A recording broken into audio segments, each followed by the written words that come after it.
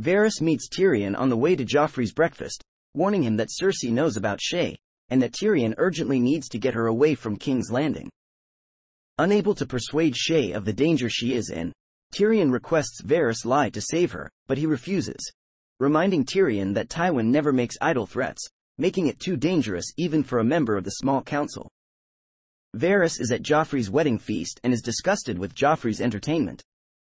When Podrick Payne visits Tyrion, Tyrion asks if Varys will vouch for him, but Pod reveals that Varys has already been called as a witness for Cersei.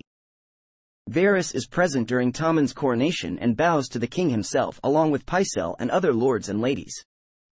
Varys attends a small council meeting and informs the council about Sandor Clegane being spotted in the Riverlands killing Lannister men. Tywin asks what could they do to make a common soldier kill the hound. Varys replies by paying them silver. Varys then tells them about Daenerys and her army, her dragons, and her rule over Meereen. Cersei says it doesn't matter because they're just babies, but Varys tells her that they are not babies anymore. Varys also mentions that Jorah Mormont and Barristan Selmy joined her cause and Jorah is no longer spying for Varys. Tywin asks if Varys can get a spy in Meereen, and he replies that he can. Right after the meeting, Varys and Oberyn Martell meet in the throne room and talk about Oberyn's travels to Essos, and Oberyn asks how Varys came to the situation he is in. Varys says that it is a long story that he only tells to people he trusts, referring to Tyrion.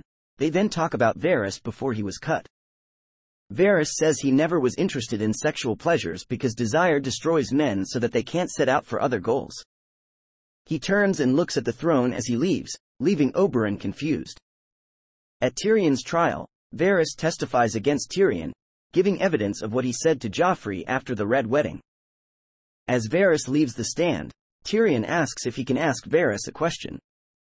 He is allowed, and he reminds Varys of what he said to Tyrion after the Blackwater, then asks him if he forgot about what he said.